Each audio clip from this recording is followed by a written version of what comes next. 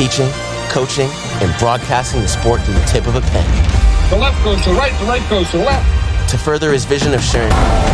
So when coach says, Play like hell when I tell you to. What's going on out there, YouTube? What's up, Team Hollywood, and what's up, my Madden 25 fans? It's your man, Hollywood Sports. If you are new to my channel, thank you for clicking on this video and welcome to Hollywood Sports. As you can see, guys, we're back on our Washington Commanders franchise in Madden 25, and we just beat the Arizona Cardinals. If you didn't see the video before, I'm sorry if you didn't see it. Um, it's a spoiler for you, but we did win. I showed the player stats and everything like that. It was a game that I played on my own. I didn't live stream it, so don't worry about it. You, you didn't. There's nothing I put out and you missed it. Um, but we're gonna we're gonna upgrade some players right now, guys. We we just we in week four, man. We we getting along.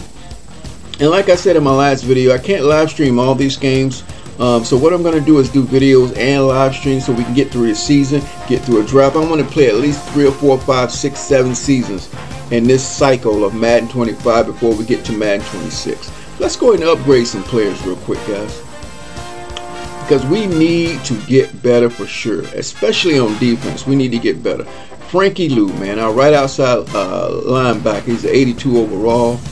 Let's go and see what we can improve on him. Speed rush is looking good. Run stop 81, power rusher 78. Um, do we really need him as a power rusher? That's his scheme fit, so I, think we're gonna do that.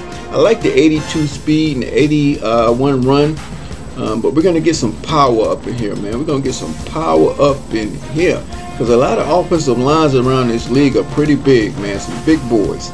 So we get one finesse move, plus one in pursuit, and plus three in tackle. All right. There we go. There we go. So we got that we got that power rush up to 79. Let me go back here. We don't need to go any further. Who's next? Brian Robinson, our second halfback. Let's go ahead and see what we can improve on Brian Robinson. Uh, we need to get some elusiveness on him. We know he's got power. He's our power uh, power back, like in goal lines, third and one, second and one, you know, stuff like that. So we're gonna up his elusiveness. Because he's a great back, man. He's a great back. Ball carrier vision plus two, awareness plus one, and juke move plus two. To a 75 overall elusive back. Who's next?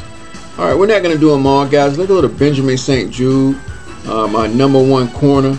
Um, you see his numbers need to improve, guys. We need to get his numbers up. His overall needs to be at least 84, 85, 86 to play with the nice wide receivers in this league. Um, his zone 77, man cover 77, slot 76 is just not good enough, guys. We play a lot of zones, so let's get his zone number up real quick.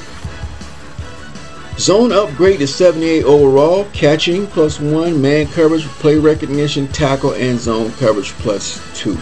Alright. We got a lot of improvement to do on defense, guys.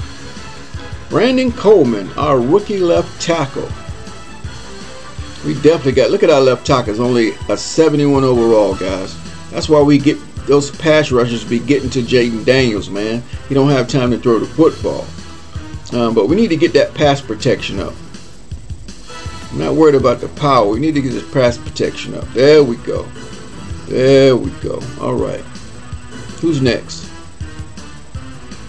Oh, we don't have that many to do. Okay, Cade York. He's our kicker.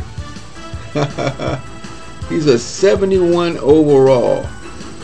All right, let's see what we can do here, man. Because he, he's got to kick some stuff. We need power.